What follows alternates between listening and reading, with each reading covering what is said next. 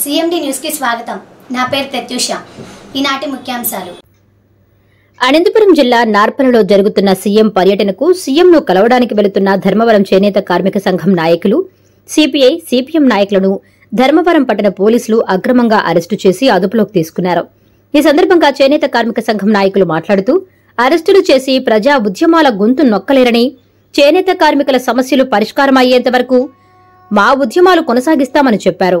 AP చేనేత కార్మిక సంఘం రాష్ట్ర ప్రధాన కార్యదర్శి జింకా చలపతి సిపిఐ పట్టణ కార్యదర్శి రవికుమార్ ఏపీ చేనేత కార్మిక సంఘం రాష్ట్ర అధ్యక్షులు పోలా రామాంజనేయులు సిపిఎం పట్టణ కార్యదర్శి పెద్దన్నలను అరెస్టు చేశారు.